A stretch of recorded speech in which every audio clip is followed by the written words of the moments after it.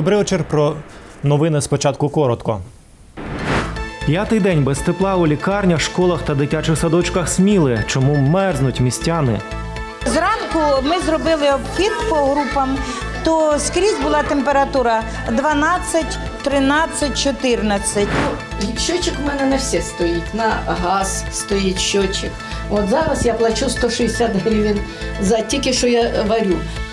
Від сьогодні на газ нова ціна. Він став майже на чверть дорожче. Як це позначиться на платіжках за тепло у Черкасах? Черкаська область дуже круто представлятися, дуже приємно після кожної перемоги або неперемоги. Переможний квартет цьогорічних призерів юнацьких олімпійських ігор та ігор нескорених нагородили в Черкасах. Ми готуємось до змагань весь рік, займаємося 6 разів на тиждень. Три вікові категорії 420 спортсменів у Черкасах стартував дев'ятий дитячо-юнацький обласний турнір з греко-римської боротьби. Ці змагання відбіркові на чемпіонат України.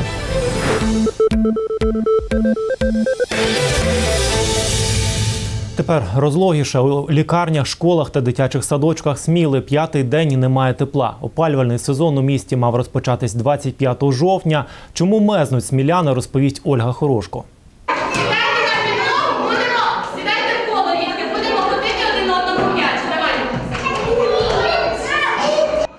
Ось так із м'ячами у спортивній залі розпочинає свій ранок найменша група смілянського садочка номер 19. Так діти гріються. Спочатку в нас в групі е, проходить зарядка ранкова. Ми з дітками робимо комплекси ранкової гімнастики, вправ, е, розігріваємося з ними. Температура повітря у кімнатах садочка зранку 12 градусів. Зранку ми зробили обхід по групам, то скрізь була температура 12, 13, 14. Але зараз ось ми зараз можемо побачити, що вже є 15-16. Але ми використовуємо обігрівачі. Обігрівачі в нас стоять і по групам, і по спальням. Опалювальний сезон у нас ще не розпочатий, батареї холодні, і тому нам дуже жалко своїх дітей і хочеться е, просто їх пожаліти якимсь теплом, зігріти. Тому ми маємо ось такі е, пляшечки, батьки позносили, ми їх попросили. Ми набираємо теплою водичкою, поки дітки на прогулянці. Наш е, помічник е, вихователя набирає їх гарячою водою і потім складаємо, кладемо під ковдрочку. А це Смілянська міська поліклініка для дорослих. Температура у приміщеннях не більше 14 градусів. Мы пришли в лікарню, вообще холодно. Отопительного вообще сезона как бы у нас у Смілі немає. Ні в лікарнях, ні в садочках, ніде і в лікарні холодно, звісно. Люди больні і це дуже тяжело. Ну які умови? На роботі холодно, тут- холодно. Ну що, що казати ще? Труби холодні, ну що казати, холодно. А треба прийти в лікарню, роздіться.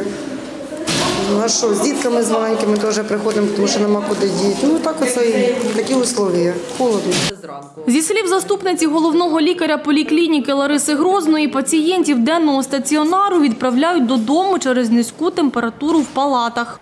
На сьогодні температура в лікувальному закладі 13-14 градусів вище не піднімається, що змушує користуватися опалювальними приладами.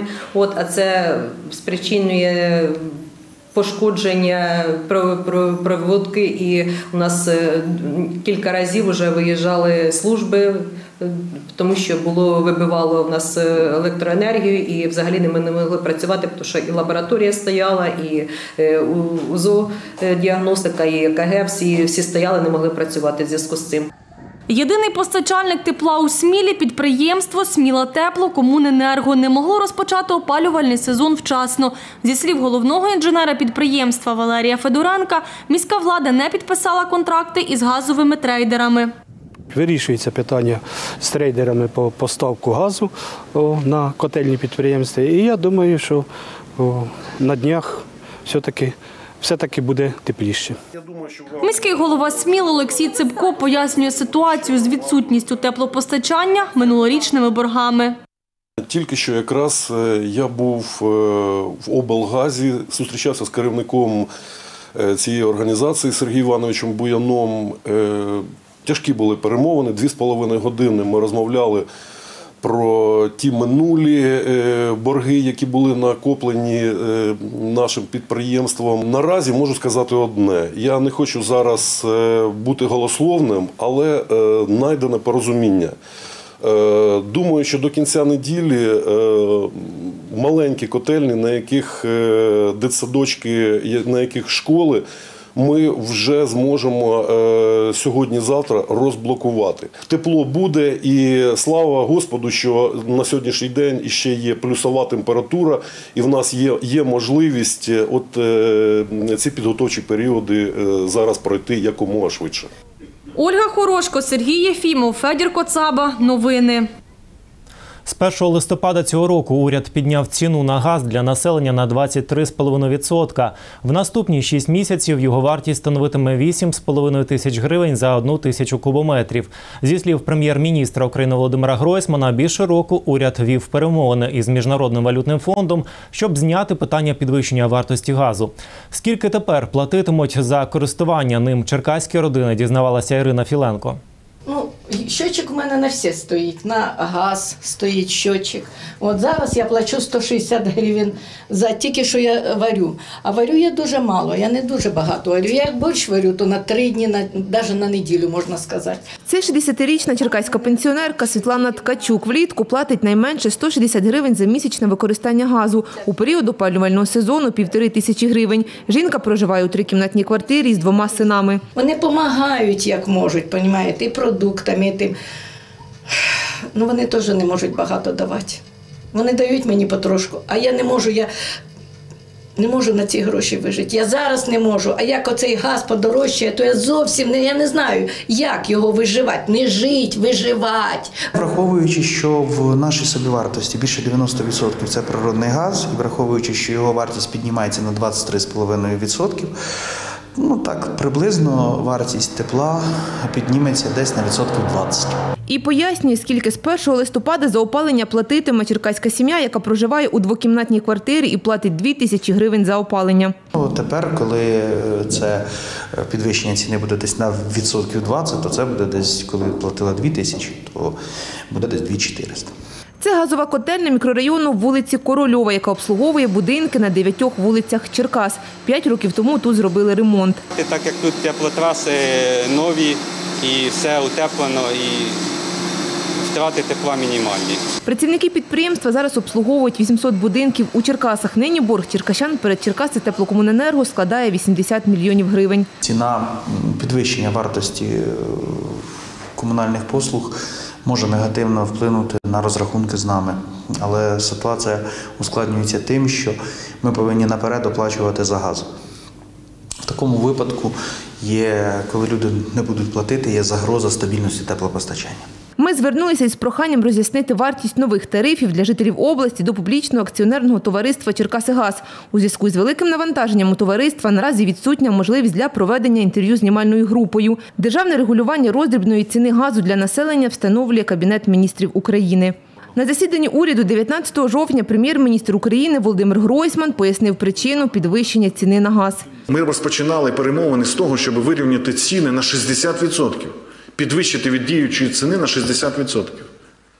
Але ми внаслідок наших перемовин і компромісу знайшли а, інший підхід. І ціни з 1 листопада на газ зростуть лише на 23,5%, не на 60%. Кабінет міністрів України опублікував на своєму порталі постанову, відповідно до якої ціни на газ для населення зростатимуть у три етапи. Національна акціонерна компанія Нафтогаз України оприлюднила цінові пропозиції для постачальників газу з 1 листопада 2018 року по 1 травня 2019 року. Ціна на газ для населення становитиме 8 тисяч 548 гривень 92 копійки за тисячу кубометрів. Відповідно до постанови уряду, з 1 травня 2019 року по 31 грудня цього ж року ціна на газ для населення становитиме приблизно 9 тисяч 850 гривень за тисячу кубометрів. А з 1 січня 2020 року ринкова ціна на газ для населення може стати приблизно 12 тисяч 310 гривень за тисячу кубометрів. Ірина Філенко, Олександр Кулик. Новини. 24 військовослужбовці Черкаського гарнізону отримали сьогодні дипломи про цивільну спеціальність. Вони мають іти у запас невдовзі або ж вже не служать у збройних силах. Навчання за напрямком менеджмент перевезень та судоводіння маломірних суден відбулося у межах проекту Україна НАТО. Воно тривало два з половиною місяці.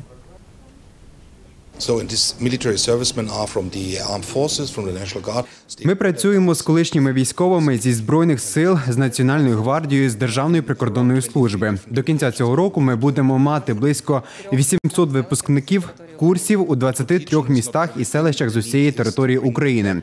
Звісно, процес навчання і проходження курсів це не єдина умова, яку мають виконати студенти. Після завершення курсів ми проводимо дослідження рівня працевлаштування. Ми обдзвонюємо випускників. Дані за 2017 рік свідчать, що рівень працевлаштування досягає 92%. Навчився на фах е, водія судноводіння. Тобто для того, щоб е, можна було сміло виходити на воду, вже звільнюся, буду дивитися по цій даній спеціальності десь узнавати, облаштовуватись і працювати. Це продовження тієї роботи, яка була організована в минулому році, коли дві групи по 24 е, особи теж були вручені свідоцтво про цивільну спеціальність. І це дає можливість е, їм пропонувати себе на ринку праці Черкащини. Черкаських спортсменів нагородили за виступи на юнацьких олімпійських іграх та участь в іграх нескорених. Івану Тищенку, Анастасії Деркач, Назару Чепурному та Денису Фіщуку вручили відзнаки Гордість Черкащини, а також сертифікати на 50 тисяч гривень. Нині спортсмени розпочали підготовку до нових змагань.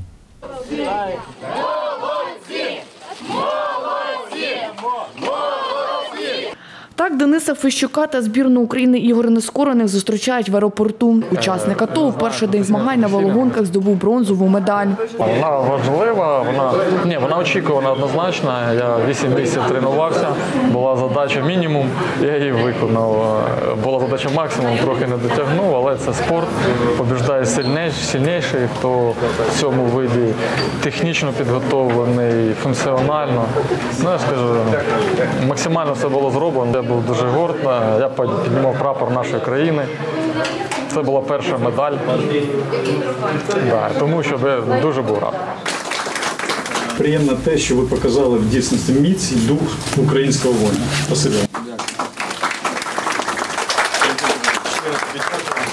А це золотий призер юнацької олімпійської збірної України з академічного веслування Іван Тищенко. Після Олімпіади спортсмен тиждень відпочивав, а зараз готується до зимового чемпіонату України на аргометрах, який пройде у Миколаєві на початку лютого. Нині в скарбничці нагород має звання Гордість Черкащини. У мене вдома стіна, де висять всі грамоти мої, всі медалі, всі нагороди. Туди в колекцію. Черкаська область дуже круто представляти, це дуже приємно після кожної перемоги або не перемоги. Буває різне. Все одно підтримують е, і матеріально, і фізично, і е, морально. Черкащину на юнацькій олімпіаді у легкій атлетиці представляла Анастасія Деркач. Дівчина змагалась у штовханні ядра. Мені здається, що для кожного спортсмена дуже особливо виступати і, ну, і показувати ну, за свою країну, за своє місто і показувати, дійсно показувати і доказувати, що в Україні є дійсно хороші спортсмени, атлети, і ну, що Україна дійсно вис, ну, має високий рівень в спорті. Я дивлюся і всі ми дивимося, як е, наші спортсмени досягають результатів. І е, будь-яке змагання це завжди амбіції. Е, Олімпійські ігри це амбіції нації, це амбіції держави. Ігри нескорених це дух нації, да, дух народу і дух наших воїнів. І я хочу е, щиро подякувати в першу чергу батькам і тренерам, які виховали, які дали оцей старт. Ну а далі це ваш характер. Олена Нечитайло, Федір Коцаба. Новини. Дев'ятий дитячо-юнацький обласний турнір з греко-римської боротьби розпочався сьогодні у Черкасах. Цього року за перші місця у трьох вікових категоріях змагаються 420 спортсменів з 10 областей України. Перший етап турніру бачила Юлія Норовкова. До виходу на килим готується чемпіон Маріуполя з греко-римської боротьби у категорії 38 кілограмів Андрій Сягань. У Черкасах спортсмен змагатиметься за першість у категорії 41 кілограм. Ми готуємось до змагань весь рік, займаємося шість разів на тиждень. Складний вид спорту, тому що олімпійський. Ті ж танці, наприклад, менш складні, бо це не олімпійський вид спорту. Греко-римською боротьбою Андрій займається третій рік. За цей час встиг здобути 11 третіх, два других і одне перше призове місце. До Черкас приїхав із тренером.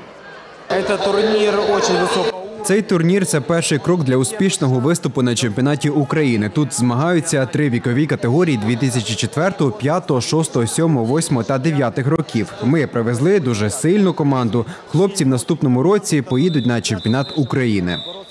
Черкасець Андрій Качан займається греко-римською боротьбою 8 років. Серед перемог має перше місце на змаганнях у Запоріжжі. Я хочу перемогти в цих змаганнях, поїхати на е, чемпіонат України і набратися більше опиту. Переможець першого етапу змагань у ваговій категорії 47 кг Олександр Циколенко до Черкас приїхав із Києва. Не сильний. Суперник не сильний був, тому легко і виграв. Турнір з греко-римської боротьби влаштовує дев'ятий рік поспіль. Триватиме він два дні.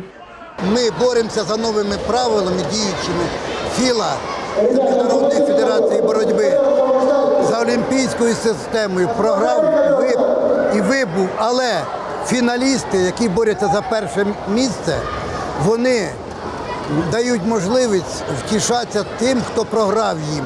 І ті, програвши першому і другому фіналісту, вони втішаються і отримують в кінцевому результаті дві бронзові медалі.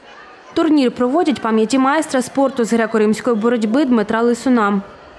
Дмитро Олександрович е, свій час дуже допомагав спорту, завжди е, давав якби, е, всі можливості, робив, робив все для того, щоб наше молоде покоління, і я в тому числі був в той період часу, да, щоб ми розвивалися, займалися спортом, от, вели правильний образ життя. Переможці у категорії 2004-2005 року народження наступного року поїдуть на чемпіонат України серед кадетів. Юлія Норовкова, Тамас Горозія. Новини. А баскетбольний клуб Черкаські мавпи відіграв останній домашній матч Кубку Європи. Учора на паркеті Палацу спорту Будівельник підопічні Максима Міхельсона приймали румунське стява, з яким ділять третю сходинку у своїй групі. До наступного етапу потрапляє одна команда. Кому вдалося це зробити, дивіться далі. Черкаським мавпам, аби гарантувати собі прописку в плей-офф, потрібно перемагати Стяуа. Підопічні Максима Міхельсона боротися за перемогу почали на другій хвилині поєдинку. За собою команду повів капітан мавп Олександр Кольченко, який відкрив рахунок у матчі. Надалі господарі паркету влучали раз по разу в кошик суперників. Стяуа зумів наздогнати українців та навіть вийти вперед, але засиллями ковклів мавпи пішли на першу перерву за рахунку 19-17. Вся команда старалась играть агрессивно именно в защите. Вся команда намагалася грати агресивно, саме в захисті. Не давали отримувати легко м'ячі, як великим, так і маленьким. У другій половині поєдинку команди по черзі захоплювали лідерство. Мавпи влучали дальні, румуни з-під кільця. Всередині гри українці зробили ривок і пішли на велику перерву з рахунком 43 на 37. Проделали большой. Зробили великий обсяг роботи в останні дні, змінили деякі речі. Ми за останні три гри побачили і зрозуміли, що за склад ми маємо. Він дуже змінився у порівнянні з тим, що ми збирали. Передостанній чверті гра йшла за сценарієм господарів паркету з усиллями Куклі та Ігоря Чумакова. Команда вийшла вперед на 10 балів. В заключній 10 хвилинці мавпи нарощували свою перевагу. Влучали Руслан Отверченко та Куклі, який став найрезультативнішим гравцем матчу. Підопічні Максима Міхельсона завершили останній домашній поєдинок групового раунду перемогою 90 на 62 і мають шанс поборотися за другу сходинку в своїй групі та потрапити до стадії плей-офф. To Cherkasy team. Вітання черкаській команді з заслуженою перемогою. Вони були готові до гри. Ми ні. Після всього того, що трапилося з нами влітку. Ми почали готуватися лише 27 вересня, тому що мали дуже багато проблем. Наступний поєдинок баскетболісти проведуть на виїзді 7 листопада. Підопічні Максима Міхельсона зіграють проти Пріштіни. Олена Нечитайло, новини. А наступний випуск переглядайте о 20.40. Залишайтесь з ЮА Черкаси.